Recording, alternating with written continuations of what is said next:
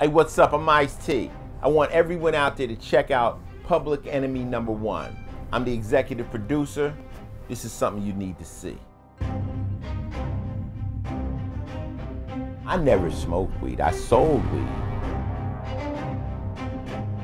America's public enemy number one is drug abuse. Drug war then felt the way the war on terror feels now. When I first came to Washington, I was drug czar under President Reagan. Some of these people in prison need to be set free. They need to just let them go.